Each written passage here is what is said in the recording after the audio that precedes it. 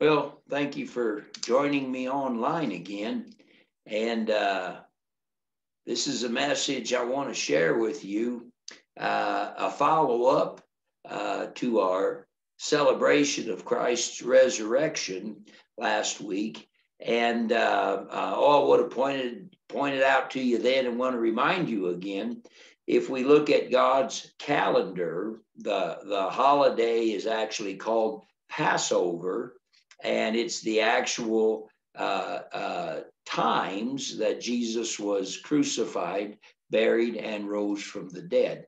And I've got a little chart here that I found online. I really like it. It covers the uh, main uh, uh, seven uh, feasts that God's Word.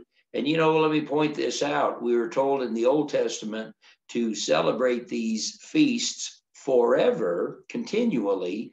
And even in the New Testament, we are instructed to celebrate them by the Spirit rather than some, some uh, procedure that we follow under the law. And that's what we want to be careful with. There's a spiritual revelation, there's a reason that God wants us to celebrate these every year. And there's a very specific uh, place God wants to lead us to, especially when we celebrate these in order. So we're going to have a look. I'm going to remind you of some things about uh, a few of these feasts because we've talked about them every year. And then the Feast of Weeks that we're really going to focus on this time. I've not said that much about it, but I believe there's a revelation that's really going to, going to bring us closer to God and help us in our walk with Him. So, anyway, let's take a look so we celebrate Passover, but in the middle of that, that's a seven day celebration. In the middle of it, we celebrate the, fe- the Feast of Unleavened Bread, the Feast of First Fruits, and it's listed as Pentecost here. This feast begins on the second day of the uh, uh, of Passover, but it continues for seven more weeks, ending on the day of Pentecost or the Feast of weeks. And uh, I want to say this again. I've mentioned this thing to you in the, these things to you in the past. Passover speaks of us, of God's people, and it speaks to us of being set free by the blood of the Lamb. Well, that certainly speaks to our salvation. We were saved from Satan's plots against us by our faith in Christ's sacrifice, the blood of the Lamb. Unleavened bread right in the middle of that same celebration speaks to us of sin being removed from our life so it never hinders us from our walk with God. It speaks to us of the sanctification process we go through as believers. And the celebration of first fruits, once again, during the week of Passover, we have the celebration of first fruits. And that speaks of our bearing fruit as a lifestyle, bearing fruit that glorifies God. I call that glorification. Okay. Each of those, and it, it, it, putting it as simply as it can be put, each of those speaks of a fundamental, basic aspect of our walk with God. We get saved, we get sin out of the way, and we spend our life bearing fruit that glorifies God. Each of those principles is addressed and revelation is given to us as we celebrate these festivals or feasts every year. Today, we're going to say, what's going on with this Feast of Weeks? We could call it the Festival of Pentecost. What's that all about? Well, in the Feast of Weeks or the, the, the festival that begins second day of Passover and ends seven weeks later on uh, on on on the day of Pentecost, we have a pra- well. Let, let, let me read you the verse first from Leviticus 23 and 15, and then we'll we'll talk about the the Jewish tradition that was developed in obedience to this instruction. So we read in Leviticus 23 and 15, you shall count for yourselves from the day after the Sabbath from the day that you brought the sheaf of the wave offering, that's the first fruit celebration, seven Sabbath shall be completed. Count 50 days to the day after the seventh Sabbath. then you shall offer a new grain offering to the Lord. That new grain offering will be the Pentecost, on the day of Pentecost, it'll be the celebration that's called the Feast of Weeks. So it's in the scripture. It's also in Deuteronomy. It's referred to, or it's it's given several times. What you need to be aware of, God says they should count the days from the beginning of that feast to the celebration of it uh, seven weeks later. And in that, God disciplines his people to count and to pray specific prayers. Now, I'm going to have a, a follow up to this message next week where we'll look at the prayers uh, and the declaration God gives us to make every day of those uh, of those 50 days. Uh, and there's power in that, and there's a release of the spirit, and there's a training uh, of your of your flesh and your soul in that. I just want you to see the scriptural exhortation to celebrate this week for 50 so this uh, to celebrate this festival for 50 days with a very specific start and a very specific end. So anyway what what is god's idea from this? Now this idea here uh, counting implies a sense of progress and direction. This is from a jewish website. Uh, this is uh, uh, people who have been counting Omer, it's called, when you every day pray specific prayers and you make a count that says, This is the first day of counting. I'm praying this prayer. I'm making this declaration. This is the second. This is the third. Very traditionally and very religiously, they go through this practice and remember, I'm not putting you under the law with it, but I'm saying let's get the spiritual revelation. Let's get the anointing that will come from this understanding. And I believe we'll be empowered to reach some new uh, levels and, and to, to, to set and achieve some new goals in our walk with God.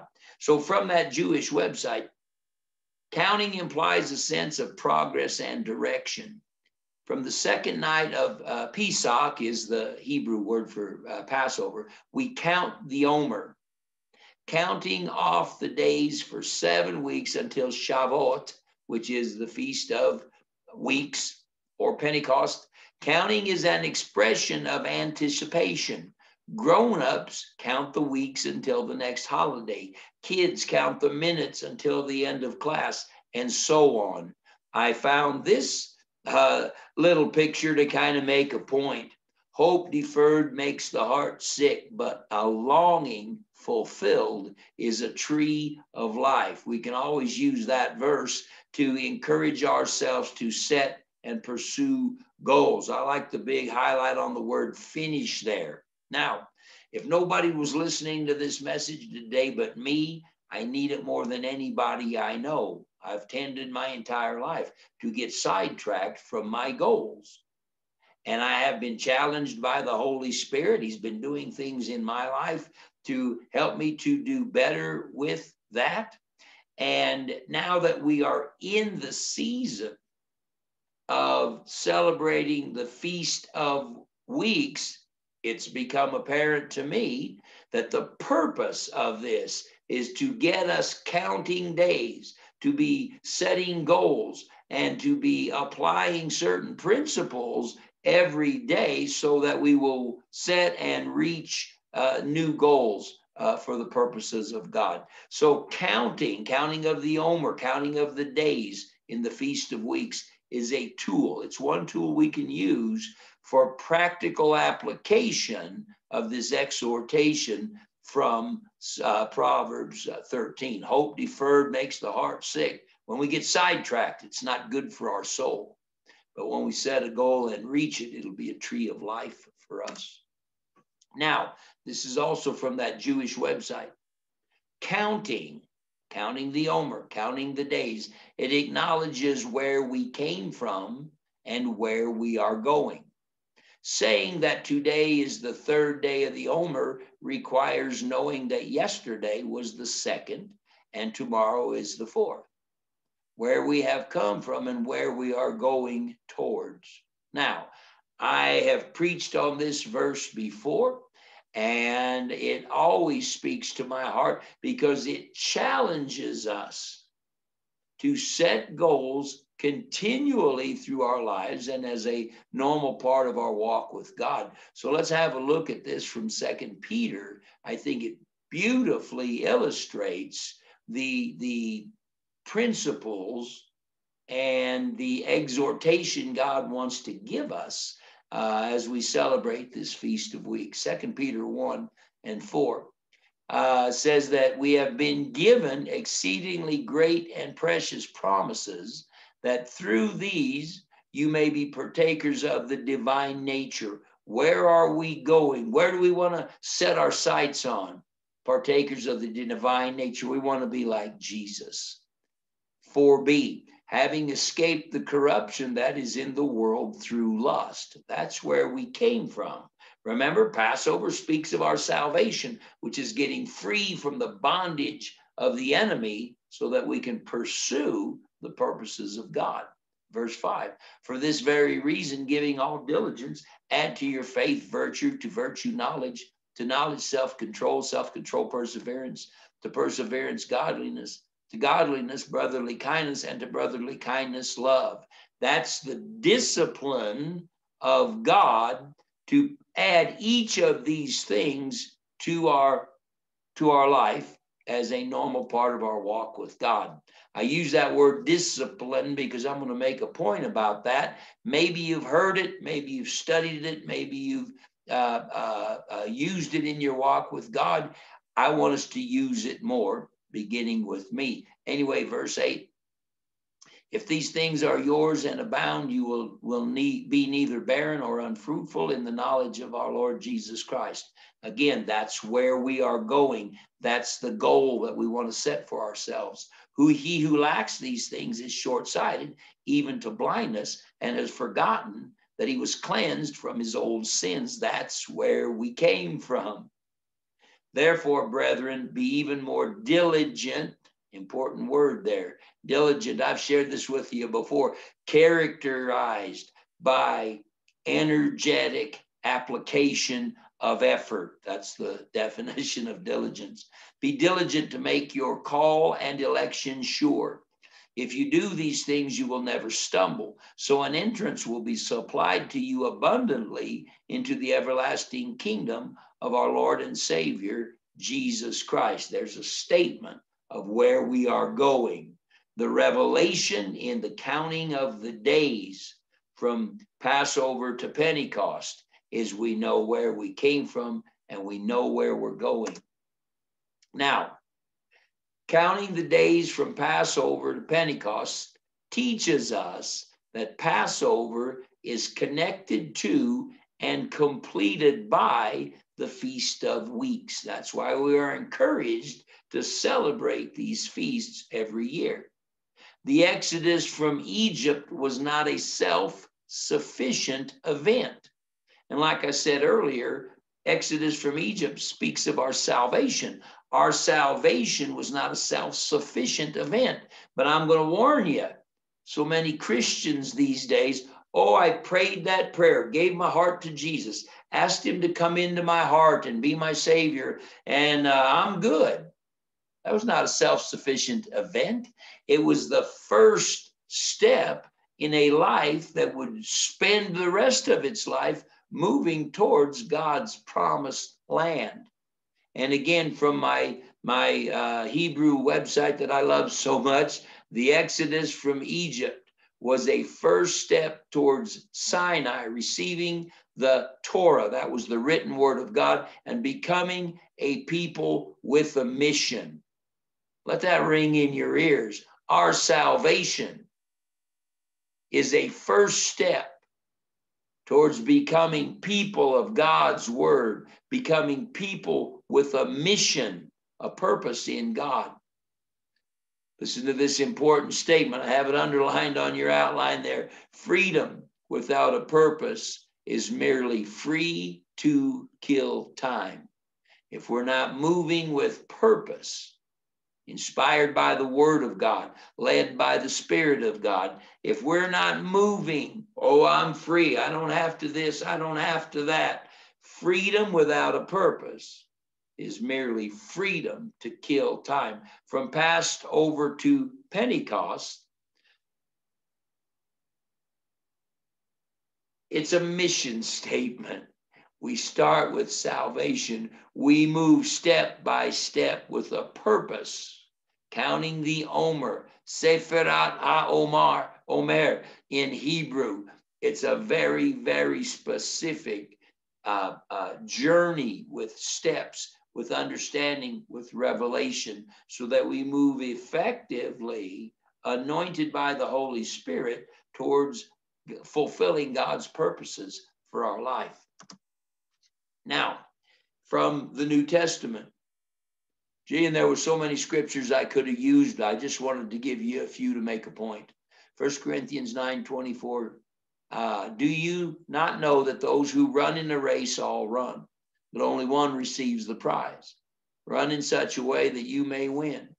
Everyone who competes in the games exercises self control in all things. They then do it to receive a perishable wreath, but we an imperishable. Therefore, I run in such a way as not without aim. I box as in such a way as not beating the air, but I discipline my body and make it my slave, so that after I have preached to others, I myself will not be disqualified. 1 Timothy 4 and 7. Reject profane and old wives' fables. Exercise yourself toward godliness. Bodily exercise profits a little, but godliness is profitable for all things. Having a promise of the life that now is and of that which is to come. This is a faithful saying and worthy of all acceptance. The reason I use these scriptures that tell us to discipline ourselves, we need to train our body to obey exhortations, commandments, instructions that come from the Word of God. Uh, and again, I'll be doing a follow up to this teaching. We're going to talk about Christian disciplines. I don't know how much you've heard the term. Uh, if you do any kind of research on it at all, uh, you're going to find out there are 12 Christian disciplines less listed uh, uh, in Hebrew websites, in Christian New Testament websites, listed everywhere. In fact, let me show you the list here of spiritual disciplines. Okay. Disciplines of abstinence, solitude, able to spend time by yourself. I'm going to elaborate on these next week, uh, but I, I want to just run down the list. Silence, boy, tricky for me to learn to be quiet when I need to. Fasting, honoring God's Sabbath day. Secrecy. Now, in case you're worried about what that means, I have things in my relationship with God that are between me and Him. That's that's having an intimacy with God that you don't share with the rest of the world because it's between you and God. Submission, that means you're submitted to the Holy Spirit.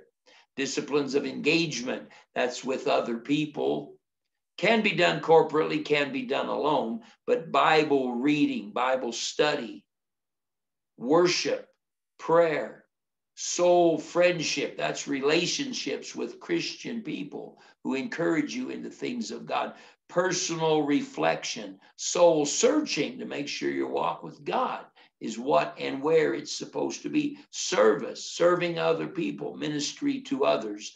Again, I will elaborate on these more next week, but I want you to know this isn't something I just dreamed up for this sermon.